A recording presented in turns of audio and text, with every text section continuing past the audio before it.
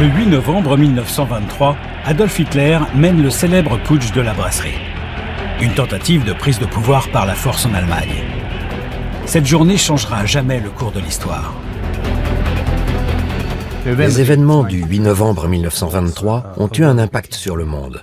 C'est ce qui a déclenché la création du régime d'Adolf Hitler. À l'époque, il formait une milice violente et Hitler n'était qu'un anonyme. Les 8 et 9 novembre 1923, Hitler, ses chemises brunes et ses partisans ont mené une tentative de coup d'État à Munich. Plus tard, Hitler a instrumentalisé cet événement pour en faire un mythe, une partie de sa légende. Les événements des 8 et 9 novembre 1923 ont eu un impact crucial sur l'histoire et ont changé le cours de la vie d'Adolf Hitler. S'il s'était dérobé la nuit du putsch, il aurait très probablement perdu toute autorité sur ses partisans et serait resté parmi les nombreux leaders politiques de second rang, les fauteurs de troubles. Quand on y repense, et même avec seulement 10 ou 20 ans de recul, on peut voir que c'était le début de quelque chose de grand. D'une certaine façon, le putsch Hitler des 8 et 9 novembre 1923 était un échec retentissant. Il n'est pas parvenu à déclencher ce qu'il espérait, une révolution nationale. Mais sans ce putsch, Hitler n'aurait peut-être jamais pu accéder au pouvoir. Ça lui a donné le temps de prendre du recul, de réfléchir à une manière de détruire la République de Weimar. On peut donc affirmer qu'il s'agit d'un tournant de l'histoire du XXe siècle.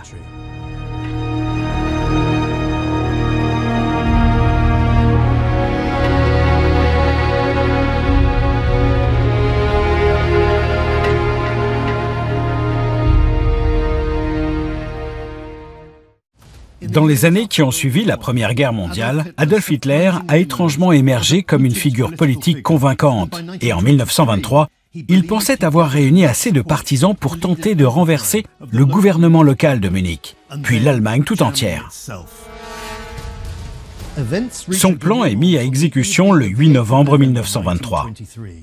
Gustav von Kahr donne un discours dans une brasserie pleine à craquer au cœur de Munich. Sur place se trouvent également les deux autres membres du triumvirat dirigeant, ainsi que de nombreux notables et puissants de Munich et de Bavière. Hitler est au courant de l'événement et il y perçoit une occasion unique de frapper. Toute la fine fleur des civils et du pouvoir en place va se réunir ce soir-là dans le même bâtiment. C'est l'occasion rêvée de faire quelque chose. Mais quoi il décide de réunir ses 600 paramilitaires en chemise brune pour encercler la brasserie et y faire une entrée théâtrale avec une poignée de ses plus fervents soutiens, afin de tenter de persuader le triumvirat dirigeant de se rallier à lui pour marcher sur Berlin et renverser la République de Weimar. C'est une initiative bien audacieuse, et les choses ne vont pas tout à fait se passer comme prévu. Hitler fait éruption dans la brasserie entourée de ses plus fervents partisans. La pièce est pleine à craquer. Ils attrapent des chopes de bière et les écrasent au sol. Puis Hitler ordonne à l'homme à sa droite de tirer une balle dans le plafond. Hitler crie ⁇ La révolution nationale a éclaté !⁇ C'était une scène très théâtrale. Il s'est avancé vers le triumvirat et leur a annoncé que la révolution avait commencé et qu'il voulait qu'ils se joignent à lui.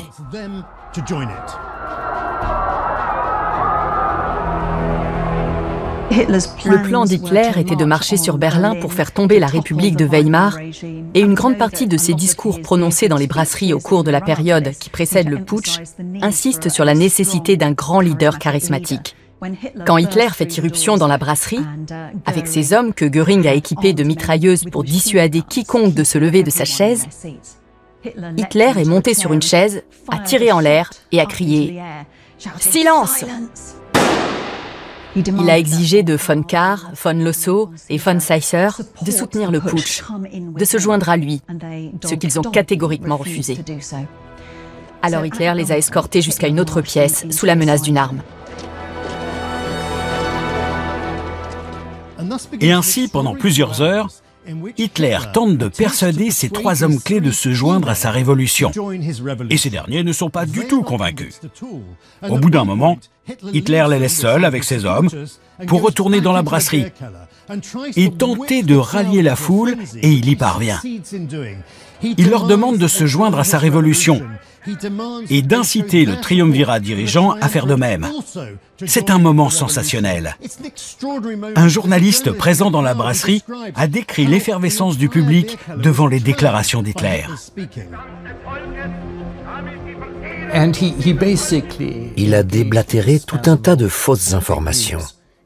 Il a dit « Nous avons renversé l'armée, nous avons renversé le gouvernement allemand » et a donné un discours très impressionnant qui a réussi en quelque temps à transformer son public plutôt distingué en un groupe de partisans déchaînés.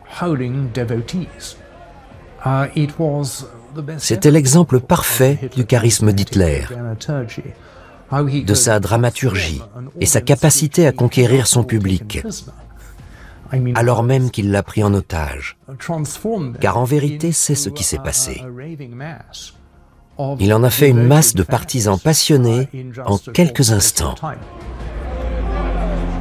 Puis Hitler est retourné dans la pièce attenante où le triumvirat l'attendait toujours sous surveillance et leur a dit « Écoutez le rugissement de la foule, ils sont tous derrière vous ». C'était un moment très tendu. Le triumvirat dirigeant, Gustav von Kahr en particulier, n'est pas du tout convaincu par la révolution d'Hitler. Il pense que sa marche sur Berlin ne fonctionnera pas. C'est alors qu'Hitler joue sa carte maîtresse. Il fait appel au général Erich Ludendorff, membre de la grande bourgeoisie prussienne et héros de la Première Guerre mondiale, afin qu'il tente de convaincre le triumvirat de se joindre à la révolution d'Hitler. Et les mots de Ludendorff font leur effet. À la fin de cette discussion, à la fin de cette soirée, malgré leur réticence, les trois hommes acceptent de se joindre à la révolution qu'Hitler s'apprête à lancer contre Berlin. Bien entendu, Hitler s'inspirait de la marche sur Rome de Mussolini, qui avait poussé le roi d'Italie à le nommer Premier ministre pour éviter une potentielle effusion de sang. Mais il a oublié que les milices fascistes en chemise noire du Duce avaient d'abord pris le contrôle par la force d'un grand nombre de villes et villages du nord de l'Italie avant de marcher sur Rome. En prenant uniquement le pouvoir sur Munich, Hitler était totalement isolé. Pendant qu'Hitler était dans la brasserie, il avait chargé Ernst Röhm, le chef de son groupe paramilitaire, de prendre le contrôle des bâtiments clés de Munich, dont le quartier général du district militaire au centre-ville. Röhm avait partiellement rempli sa mission, mais il n'avait pas pris le contrôle de tous les bâtiments clés. Par exemple, il ne s'était pas emparé du central téléphonique. Jusque-là, tout se passait bien pour Hitler. Il avait exactement ce qu'il voulait.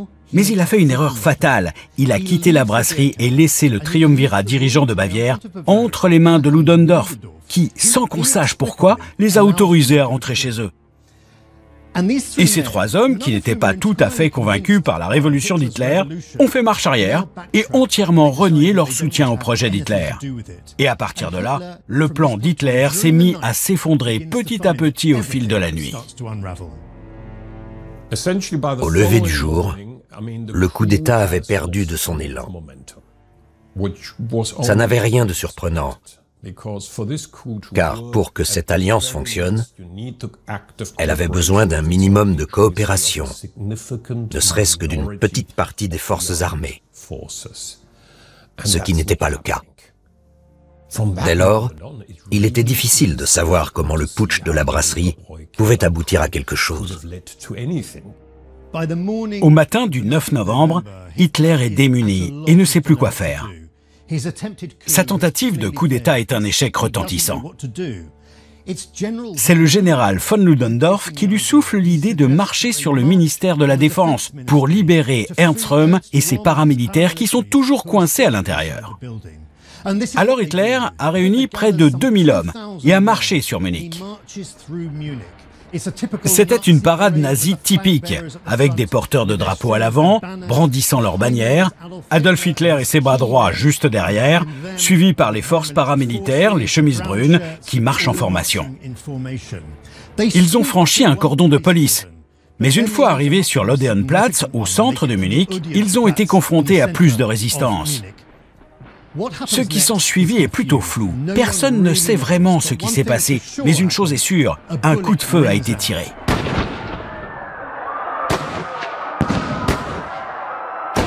Ce coup de feu a déclenché un échange de tirs intenses d'une minute, qui coûtera la vie à quatre policiers et 14 partisans d'Hitler en plein centre de Munich.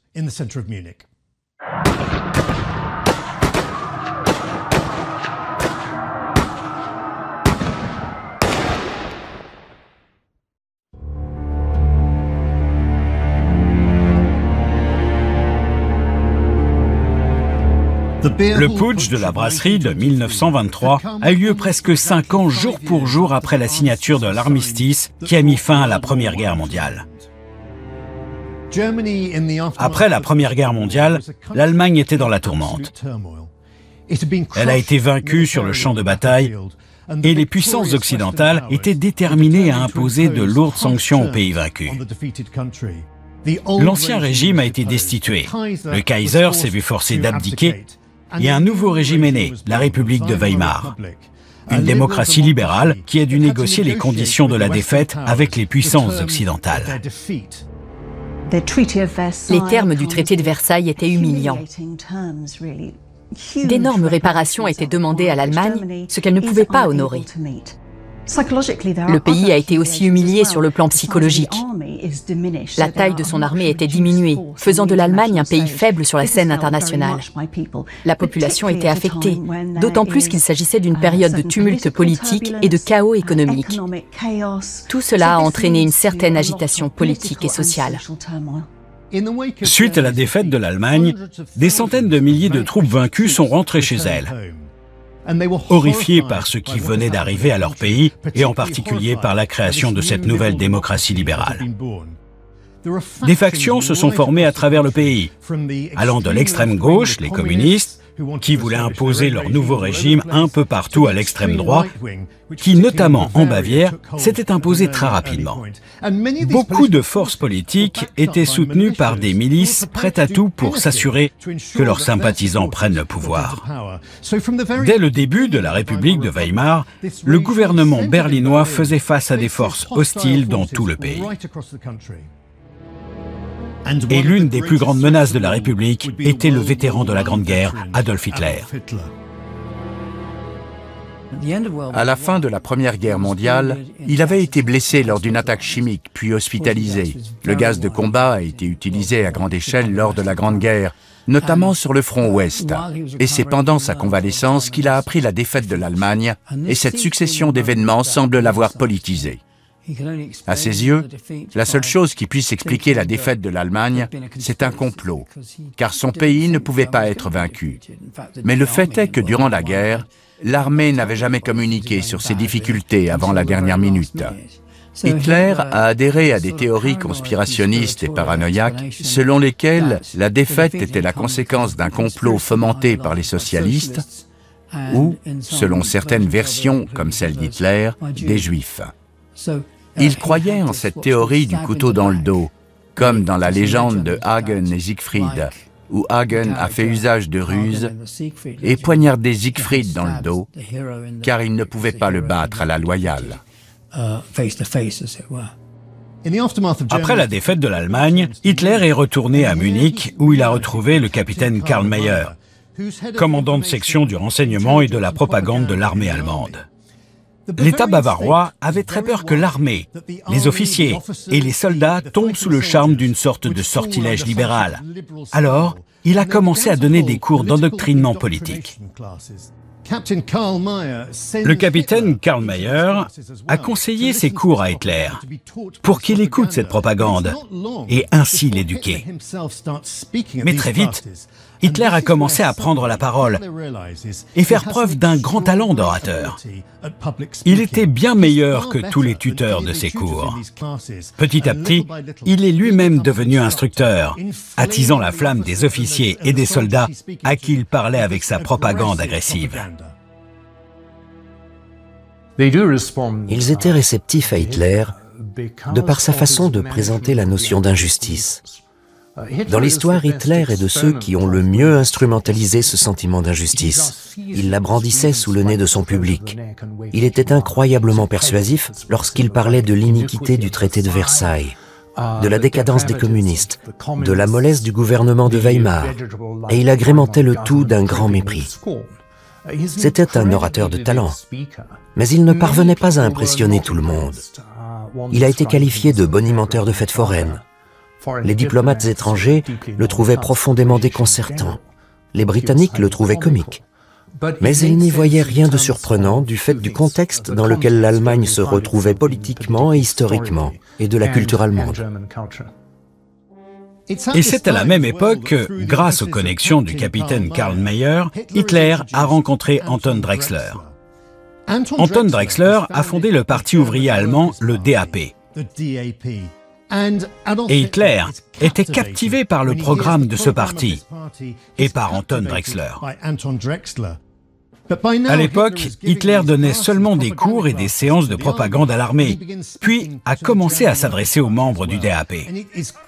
Anton Drexler a très vite compris qu'il avait un génie entre les mains, qu'Hitler pouvait conquérir les foules par sa propagande et ses talents d'orateur. Ses discours explosifs enflammaient son auditoire.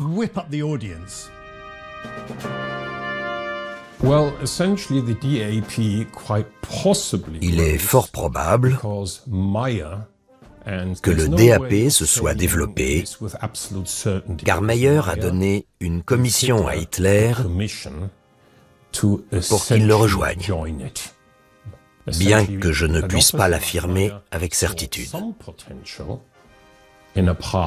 Un officier comme Meyer a perdu un certain potentiel dans un parti comme le DAP, et des preuves circonstancielles montrent que la première visite au DAP d'Hitler, dont il a parlé en longueur dans Mein Kampf, ne soit pas le fruit du hasard ou de son instinct. Il y est allé car c'est Meyer qui l'a envoyé. Mayer prolongeait son mandat et il ne s'agissait plus que quelqu'un comme Hitler parle aux soldats sur le point d'être démobilisé. Il s'agissait d'utiliser quelqu'un comme Hitler pour instrumentaliser un jeune parti encore en construction, comme le DAP, pour servir les objectifs du Reich. L'histoire d'Hitler prend un tournant en septembre 1919. Au DAP, il se retrouve en pleine dispute avec un professeur qui souhaitait que la Bavière, alors un Länder conservateur d'extrême droite, se sépare du reste de l'Allemagne. Or, Hitler n'est pas du tout de cet avis. Au contraire, il voit l'Allemagne comme un grand Reich uni, où le peuple germanique serait réuni sous un seul étendard. Il a débattu avec le professeur et l'a complètement décrédibilisé. Au printemps 1920, Hitler commence à prendre le contrôle du parti. Il change le nom du parti ouvrier allemand et en fait le Parti national socialiste des travailleurs allemands, le NSDAP. Mais sa voix n'a alors que peu de poids, même à Munich. Tout bascule lorsqu'il rencontre Dietrich Eckart. Dietrich Eckart était un rédacteur en chef antisémite et alcoolique avec beaucoup d'argent et de contacts influents. Il avait entendu Hitler lors d'un discours enflammé au cours d'un événement du DAP dans une brasserie et en était ressorti très impressionné par ce qu'il avait vu. Il avait 21 ans de plus qu'Hitler et l'a approché en prenant une posture de mentor, de figure paternelle, et l'a aidé à se créer une image à la manière d'un conseiller en communication. Il lui disait quoi porter. Il a créé un organe de presse, le journal du Parti ouvrier allemand, et mis Hitler en relation avec ses contacts, comme Alfred Rosenberg, qui deviendra plus tard l'un des hauts dirigeants de la cause nazie. Le début des années 1920 à Munich marque aussi la période où Adolf Hitler a rencontré une grande partie des associés qui resteront à ses côtés dans le Troisième Reich. Hermann Göring, Julius Streicher, Alfred Rosenberg, Ernst von Amstangel et Ernst Röhm, qui finira par diriger la SA ou les Chemises Brunes, l'organisation paramilitaire du parti nazi. Ils viennent tous de milieux très différents, mais sont tous tombés sous le charme hypnotique d'Hitler en l'entendant parler. Ils se sont engagés dans le parti et sont restés de fidèles partisans pendant les douze prochaines années. Avec une équipe loyale derrière lui, Hitler était alors déterminé à suivre les traces de Benito Mussolini, qui a pris le pouvoir sur l'Italie après avoir marché sur Rome. D'une certaine façon, on peut trouver la marche sur Rome comique. Mais elle illustre deux choses. Tout d'abord, la façon qu'avait Hitler de plagier absolument tout. Des symboles aux méthodes utilisées. Il n'innovait jamais. Hitler a simplement décidé d'imiter Mussolini, qu'il admirait, et il s'est grandement inspiré des fascistes italiens pour fonder le NSDAP. Ensuite, c'est qu'il fallait obtenir le pouvoir par la force, comme Mussolini l'avait fait, car c'est ainsi qu'on pouvait illustrer la notion de violence intrinsèque. Et je pense que c'est quelque chose qui va de pair avec les valeurs fascistes. À l'époque, la Bavière était très différente du reste de l'Allemagne. Elle était dirigée par un triumvirat de conservateurs de droite, Gustav von Kahr, le général Otto von Lossow et le général Hans Ritter von Seisser. Ils représentaient l'ancien monde, la Bavière conservatrice, et étaient unis dans leur haine de la démocratie libérale qui régnait à Berlin. Hitler y a vu une opportunité. L'Allemagne était alors frappée par un taux de chômage très élevé. Des millions de personnes n'avaient pas de travail. Et le pays souffrait également d'une hyperinflation sans précédent. Hitler a vu dans ces tensions économiques une opportunité idéale pour frapper.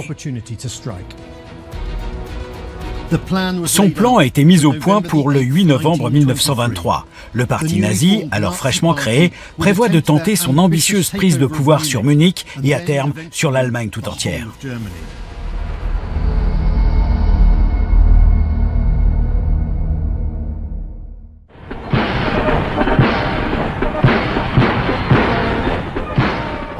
Le 9 novembre 1923, la tentative de putsch d'Hitler à la brasserie a terminé en fusillade en plein cœur de Munich.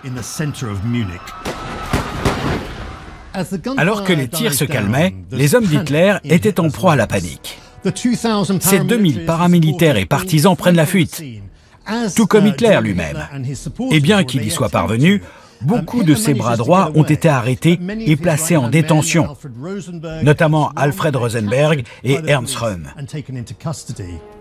Et le général Erich Ludendorff il s'est rendu de lui-même. Il ne voulait pas se faire arrêter par la police. En tant que fier officier prussien, il doit faire ce qui est juste.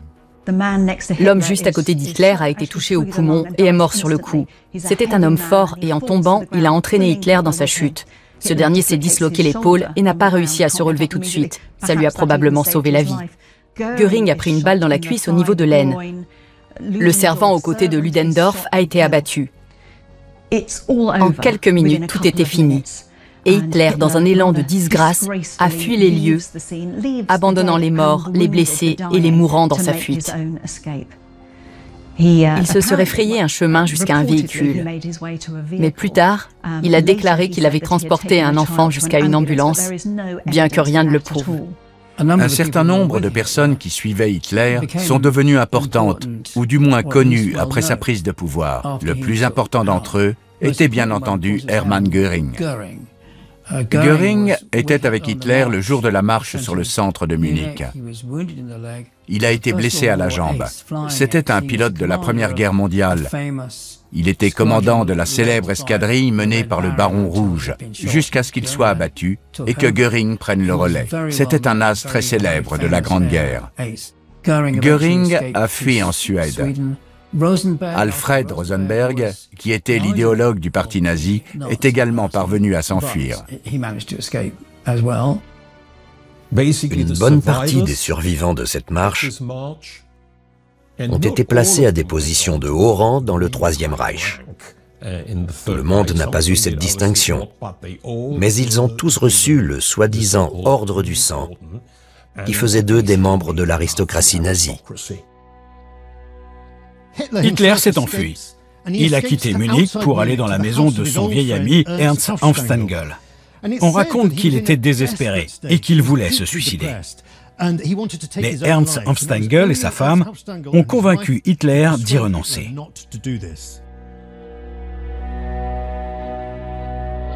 Ernst Amstangel, qui se faisait surnommer Putzi, était un ami proche d'Hitler. C'était un marchand d'art à moitié américain, un mondain bien loti, bon vivant et frivole. Aux yeux du jeune Hitler, qui était dans la vingtaine, il représentait une figure cosmopolite très sophistiquée. Deux jours plus tard, Hitler espérait quitter le pays en traversant la frontière autrichienne. Mais la police était en route pour l'arrêter. Hofstangel aurait déclaré plus tard qu'Hitler était avec sa femme quand il a appris la nouvelle. Et il aurait dit qu'il préférait se suicider plutôt que d'être arrêté. Il a tout de même été interpellé et envoyé dans la prison de Landsberg dans l'attente de son procès. La plus grande peur d'Hitler était d'être renvoyé en Autriche, où il aurait été jugé pour trahison et probablement exécuté. Son autre peur était d'être jugé par une cour du Reich, ce qui impliquerait qu'il serait jugé à Leipzig, hors de Bavière. Cependant, sa plus grande chance d'obtenir la clémence du juge était d'être jugé en Bavière, de préférence à Munich, où il savait qu'il avait plus de chances. Après tout, beaucoup de Munichois, de juges et de magistrats l'appréciaient et partageaient les mêmes opinions politiques. Et c'est ce qui s'est passé. Il a été jugé par un tribunal populaire en Bavière, par un juge très sympathique à sa cause. Il y avait une vraie possibilité qu'Hitler soit déporté en Autriche. Et c'est ce qui l'inquiétait le plus, car il y était recherché pour avoir déserté l'armée. Et bien que la loi stipule que les étrangers poursuivis pour trahison, comme Hitler, doivent être déportés dans leur pays d'origine, le juge en charge de son dossier s'est montré plutôt complice et a outrepassé cette loi. Il a dit qu'Hitler se considérait comme un Allemand, qu'il avait combattu pour l'armée allemande pendant la Grande Guerre et donc qu'il pouvait être jugé en Bavière. Au moment de son procès, Hitler était encore désespéré. Il était jugé pour des faits de trahison. Il risquait potentiellement une lourde peine de prison. Mais il a très vite compris que les juges et le système judiciaire étaient complètement acquis à sa cause et qu'il avait là une chance unique de propager sa propagande au-delà de la salle d'audience car des journalistes étaient présents, non seulement venus de Bavière, mais aussi du reste de l'Allemagne et du reste du monde. Pour la première fois de sa vie, Hitler avait l'occasion de propager ses idées antisémites à travers l'Allemagne et de parler à la presse internationale. Il a pris conscience de cette opportunité unique. Ce qui est dingue, c'est que le juge a donné carte blanche à Hitler et l'a laissé dire ce qu'il voulait. Il ne l'a même pas interrompu. Il ne l'a même pas interrogé. Hitler a pu parler pendant trois heures. Et déclamer son discours antisémite. Il a également assuré qu'il faisait ça en tant que pur patriote allemand qu'il voulait protéger les valeurs conservatrices allemandes et parlait au nom du peuple germanique. C'était une performance magistrale qui a fait son effet, non seulement à Munich et en Bavière, mais à travers toute l'Allemagne. Grâce à ses motivations soi-disant patriotes, Hitler n'a été condamné qu'à cinq ans en Festungshaft, un emprisonnement en forteresse. Traditionnellement, avant la Grande Guerre, cette sentence était utilisée à l'encontre des criminels ayant agi pour des motifs nobles. Par exemple, les aristocrates qui avaient tué quelqu'un lors d'un duel allaient en forteresse, comme la prison de Landsberg. La prison de Landsberg était une prison moderne, construite juste avant la guerre, mais dans une de ses ailes, le Festungshaft était appliqué. Hitler était donc emprisonné dans une prison ordinaire avec une division spéciale où il a été rejoint par S. Ces cinq années n'étaient qu'une manœuvre médiatique. En coulisses, ils lui ont dit qu'il n'irait que pendant huit mois.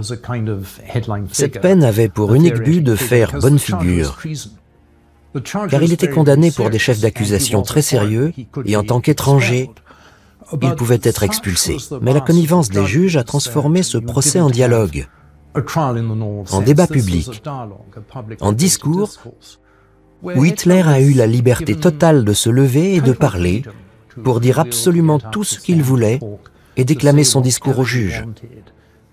Hitler a pu faire absolument tout ce qu'il voulait. Ce procès était une vaste supercherie, à peine une tape sur la main symbolique. Ce n'était pas une punition, ce n'était pas un procès, c'était un auditoire pour Hitler, où il a pu s'adresser à l'Allemagne et au monde entier. Et dans un sens, ce procès a été profondément disruptif pour l'ordre et tous ceux qui y sont attachés. C'était une caricature de procès. C'était une farce. L'explication la plus plausible est double. Tout d'abord, c'est ce que le juge pensait vraiment. Il en est de même pour les autres juges qui ont travaillé sur l'affaire. Il y avait un courant sous-jacent de sympathisants d'extrême droite, ou en tout cas de personnes qui voyaient l'extrême droite comme étant moins malveillante et menaçante que l'extrême gauche. Mais il y avait très certainement une dimension plus secrète à tout cela. Hitler a laissé entendre que s'il était jugé lors d'une audience publique, sachant qu'il pouvait potentiellement être condamné à la peine de mort, car on parle de fait de haute trahison, il était prêt à couvrir l'histoire compromettante de la relation entre le Reich bavarois et les milices comme la SA. Car jusqu'à un mois avant le putsch raté, les unités de la SA recevaient des entraînements militaires dans des baraquements du gouvernement bavarois. Ils faisaient ça dans l'optique de potentiellement envahir la Saxe, car des gouvernements marxistes y étaient au pouvoir à l'époque. Ainsi, les relations entre les différentes milices, comme la SA et l'armée allemande en Bavière, ont été trop proches et connivantes pendant trop longtemps. Alors Hitler a proposé de flouter les lignes. Il était dans l'intérêt de tous de garder cette histoire sous silence. Cette peine est loin d'être sévère. Comme bon lui semble, Hitler peut passer ses journées avec ses amis conspirateurs qui sont enfermés dans la même prison que lui. Il peut recevoir des visites, ses partisans s'attroupent pour le voir. Il demande à se faire livrer des livres, il est bien nourri. Nous sommes bien loin des conditions de vie draconiennes qu'on trouvait à l'époque dans les autres prisons allemandes. La peine de prison. d'Hitler lui donne également le temps de réfléchir et de préparer l'avenir.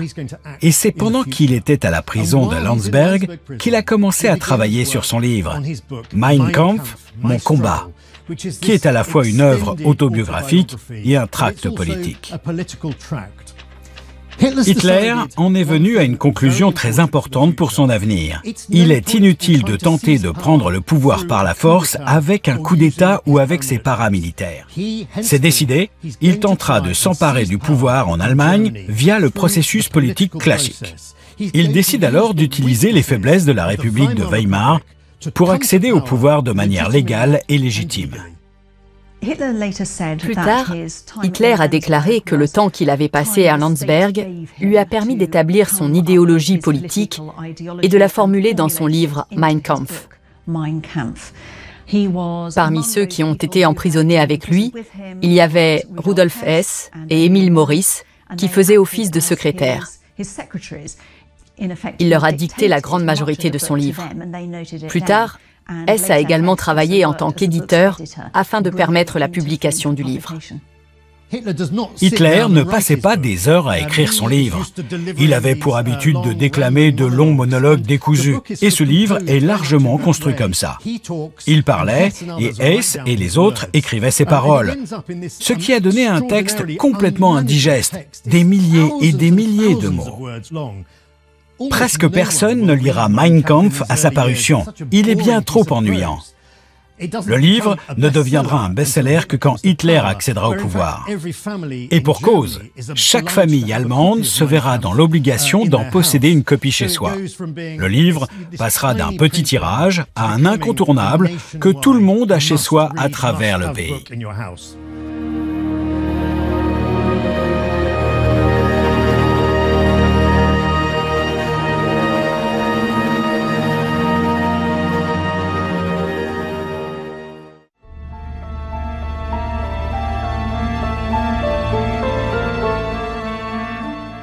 Le 20 décembre 1924, le meneur du putsch de la brasserie est relâché. Hitler est sorti de prison après seulement huit mois. Le parti nazi était toujours interdit. Mais en 1925, il est reparti de plus belle. Et c'est à ce moment-là qu'il a compris la puissance du symbolisme. Les marches, les drapeaux, les parades, les cérémonies la propagande, tout cela, ça a captivé le peuple allemand et le nombre d'adhérents du parti nazi a explosé. Il s'est libéré de ses menottes. Il n'était plus sous la tutelle de Drexler ou du capitaine Meyer. Il avait créé son propre personnage alors qu'ils avaient été effacés de l'histoire. Uh, Hitler était devenu le leader qui s'était fait lui-même. Il a pris en compte les conseils qu'on lui avait donnés et a changé son image en commençant par sa tenue. Il a mis un trench coat et a troqué son œufs pour un pantalon. Et uh, il ne faut pas oublier qu'au départ, Hitler cherchait un guide et qu'il ne le voyait pas en lui-même. Uh, il se pensait voué à rester au second rang. Il cherchait un messie et il pensait que Ludendorff pouvait endosser ce rôle. Cette figure royale, ce titan militaire. Mais au bout d'un moment, que ce soit lors du procès ou ailleurs, il a atteint un certain niveau de reconnaissance qui a fait qu'il s'est considéré lui-même comme le Messie. Il était devenu le leader, le Führer.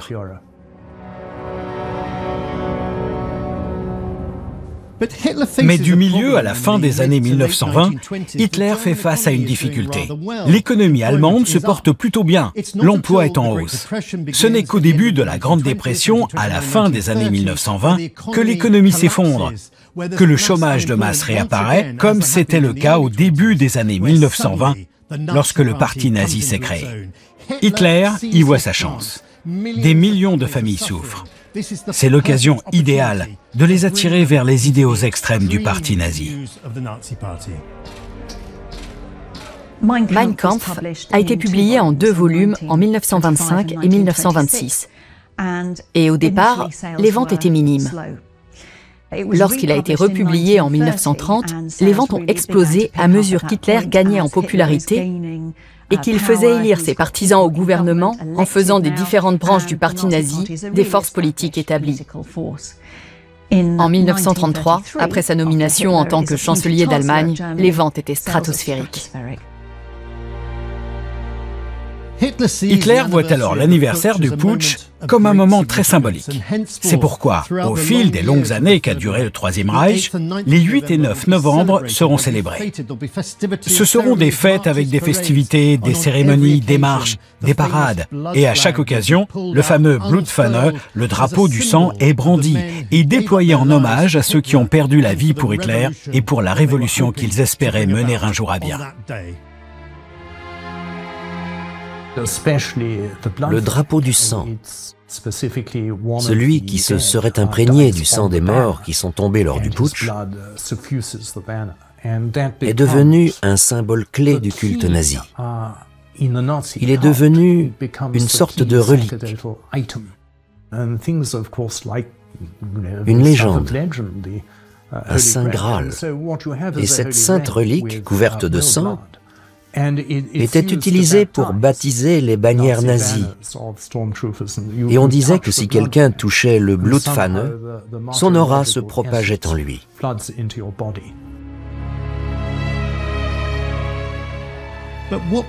Mais qu'advient-il des chemises brunes, les paramilitaires d'Ernst Röhm, qui ont joué un rôle central dans le putsch? En 1934, ils ont accumulé un pouvoir énorme. Et Ernst Röhm lui-même est presque devenu un rival d'Hitler.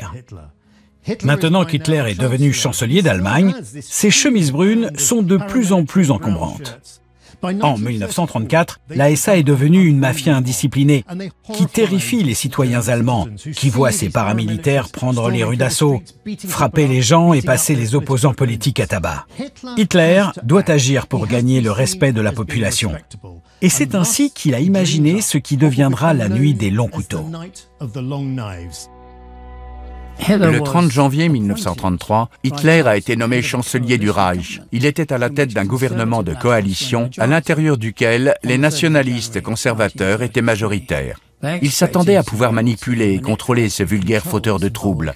Mais en réalité, Hitler a très rapidement retourné la situation.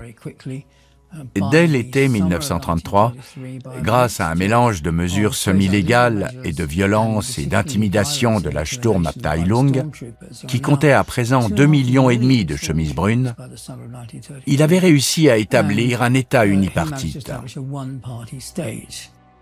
La SA s'est rendue terriblement impopulaire auprès de nombreux secteurs du public qui était grandement sympathique envers la révolution nazie. On voyait de plus en plus de cas où des civils, des étrangers et même des diplomates étaient frappés par la SA en pleine rue.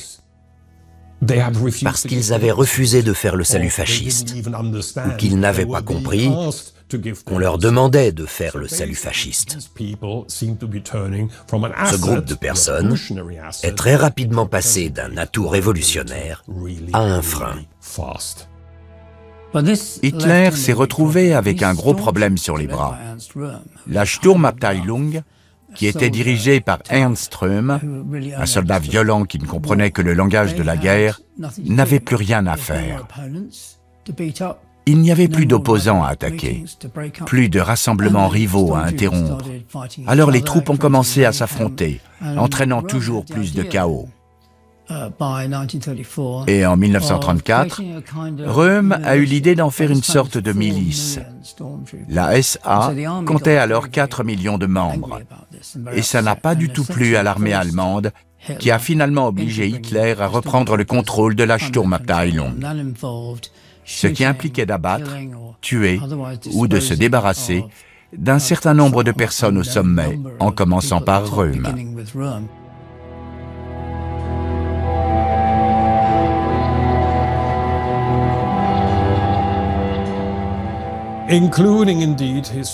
Son ami Röhm n'a pas été épargné. Et je dis bien ami, car il faisait partie d'une toute petite poignée de personnes du parti qui était connu pour tutoyer Hitler, ce qui atteste d'une relation bien plus proche, voire d'une amitié en allemand. Hitler utilisera ses propres gardes du corps d'élite, les SS, pour anéantir les chemises brunes. Il en profitera également pour se débarrasser de tous ses opposants politiques, notamment Gustav von Kahr, ce membre du triumvirat de Bavière qui avait refusé de se joindre à lui la nuit du putsch et qui tombera parmi les victimes de la nuit des longs couteaux. Hitler n'a jamais oublié le putsch de la brasserie.